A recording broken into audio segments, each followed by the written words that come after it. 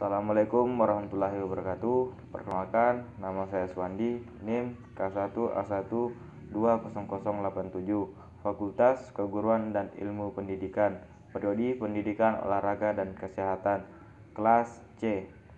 Eh, baiklah, di sini saya akan membuat tugas UTS Agama 2 2021 tentang menjelaskan sedekah dan zakat. Baiklah, di sini saya akan menjelaskan tentang apa itu zakat dan sedekah. Eh, yang pertama saya bahas yaitu zakat. Zakat dalam segi istilah adalah harta tertentu yang wajib dikeluarkan oleh orang yang beragama Islam dan diberikan kepada orang yang berhak menerimanya. Zakat dari segi bahasa berarti berisi, suci, subur, dan berkembang menurut ketentuan yang telah ditetapkan oleh syariat Islam. E, secara garis besar, zakat terbagi menjadi dua yaitu jiwa atau fitrah dan harta atau mal. Zakat fitrah wajib dibayar setiap tahunnya pada bulan Ramadan sebagai upaya membersihkan jiwa dan harta. Sementara zakat mal memiliki ketentuan tergantung pada jumlah dan jenis harta yang dimiliki seseorang. E, contoh zakat fitrah yaitu zakat fitrah per orang sama dengan 3,5 liter dikali harga beras di pasaran per liter. E, contoh harga beras di pasaran rata-rata Rp10.000 per liter maka zakat fitrah yang harus dibayar per orang sebesar 35.000 jika dihitung dari segi berat maka fitrah per orang sama dengan 25 kg dikali harga beras di pasaran per kilogramnya. E, adapun contoh yang kedua yaitu zakat mal.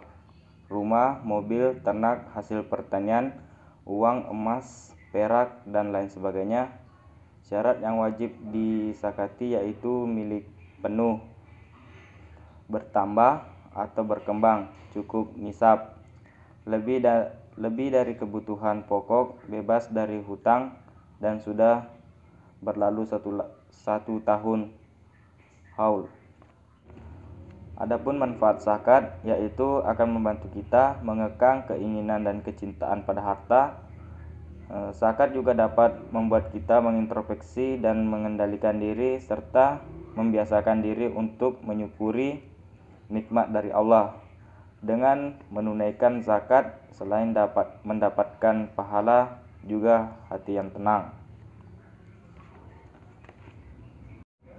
Nah, itulah tadi penjelasan tentang zakat yang bisa saya jelaskan. Lanjut ke penjelasan sedekah. Eh, sedekah adalah pemberian seseorang muslim kepada orang lain secara suka dan rela dan ikhlas tanpa dibatasi oleh waktu dan jumlah tertentu. Sedekah lebih luas dari sekedar zakat maupun infak, karena sedekah tidak hanya mengeluarkan atau menyumbangkan harta, namun sedekah cakup segala amal atau perbuatan baik. Eh, dalam ajaran Islam, sedekah dibagi menjadi beberapa jenis yaitu sebagai berikut. 1. Sedekah materi. Sedekah materi adalah sedekah yang dapat memberi barang-barang miliknya kepada orang lain. Yang kedua, sedekah non materi yaitu terbagi menjadi tiga.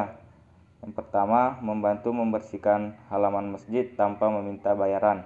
Yang kedua, mengajarkan orang ilmu yang bermanfaat tanpa pamrih. Tiga, menyambung tenaga dalam membangun masjid seperti ikut mengangkut material untuk membuat bangunan masjid. Dan yang terakhir, yang ketiga, sedekah jariah terbagi men menjadi tujuh bagian. Yang pertama, membangun masjid, membuat buku yang bermanfaat, membangun rumah untuk para musafir. Empat, sedekah di kala sehat. Lima, mengajarkan ilmu, 6. mewariskan Al-Quran, 7. membangun panti asuhan. E, manfaat yang bisa kita dapat dalam bersedekah itu ada 9 manfaat. Yang pertama, sedekah dapat menghapus dosa. Eh, yang kedua, orang yang bersedekah akan mendapat naungan di hari akhir. Yang ketiga, sedekah akan memberikan keberkahan pada harta. Yang keempat, Allah akan melipat gandakan pahala kepada orang yang bersedekah. Yang kelima, terdapat pintu surga yang hanya dapat dimasuki oleh orang yang bersedekah. Yang keenam, sedekah akan menjadi bukti keimanan seseorang. Yang ketujuh, sedekah akan membebaskan dari siksa kubur. Yang kelapan, sedekah dapat mencegah pedagang melakukan maksiat dalam jual beli. Yang kesembilan, orang yang bersedekah merasakan dada yang lapang dan hati yang bahagia. E, demikian yang bisa saya jelaskan tentang zakat dan sedekah.